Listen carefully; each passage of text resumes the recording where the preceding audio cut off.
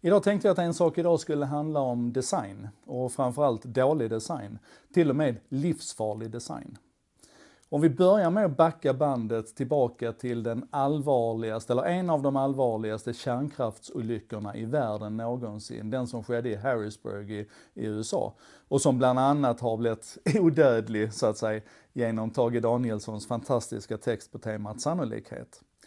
Den olyckan den, den skedde till stor del på grund av att man hade dåligt designade alarmsystem. Så att personalen som jobbade med kontrollfunktionerna, de blev helt enkelt överväldigade av uselt designade akustiska larm.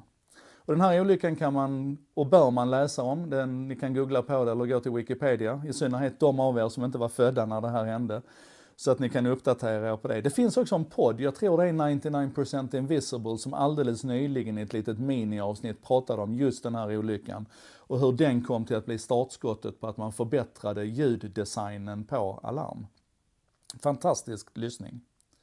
Men det som egentligen är, är utlösande faktor för mig nu att börja tänka på det här, det är det som hände på Hawaii den 14 januari, i det här fallet då för tre dagar sedan.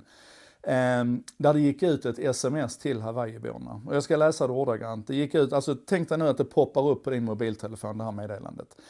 Emergency alert. Ballistic missile threat inbound to Hawaii.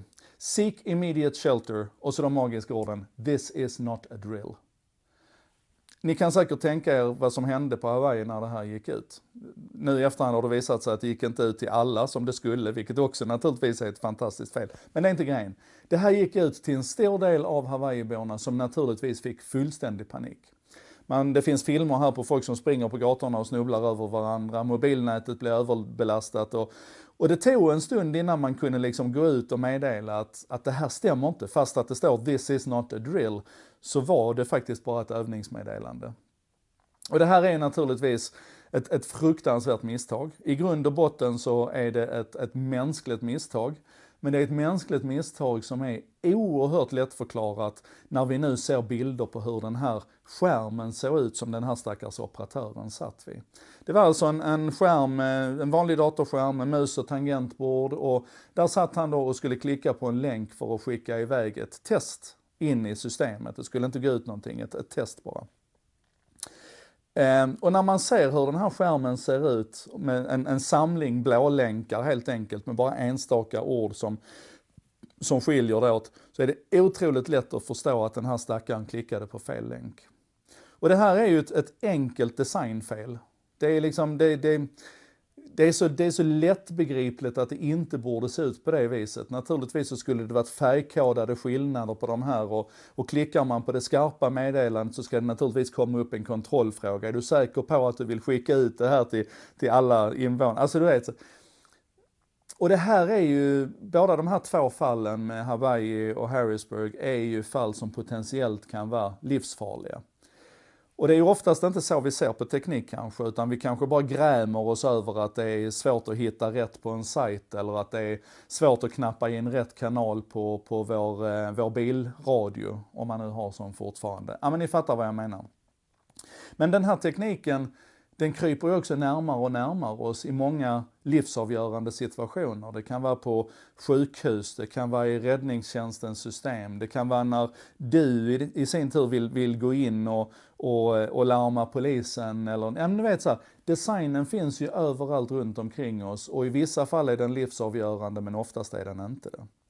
Det finns en bok på det här temat som Jonas Söderström har skrivet som heter eh, Jävla skitsystem. Och den tar ett, ett bredare perspektiv på hur, hur dåligt vi bygger system och vilken arbetsmiljöfråga det är. Och hur mycket effektivitet och kvalitet vi tappar på dåliga system. Men designen är definitivt en, en bärande del av detta. Och vad jag tror att jag skulle vilja uppmuntra och uppmana oss till nu, det är att, att inte acceptera dålig design någonstans. För vad vi gör när vi accepterar dålig design i ett icke livsavgörande system, i ett icke livsviktigt system, det är att vi låter bli att lyfta ribban, att vi låter bli att, att utveckla, uppmärksamma och kollektivt ta ansvar för den dåliga designen vi har runt omkring oss.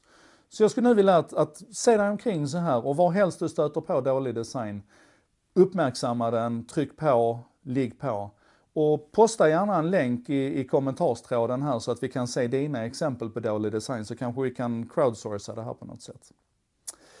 Det var det jag tänkte prata om idag och jag ska också säga tusen tack till Bredband2 som har varit med och, och gjort den här En sak idag möjlig. Eh, Bredband2 är ju de som eh, när andra snackar gärna lyssnar eh, och det är ju därför jag gör detta också. Tack för idag!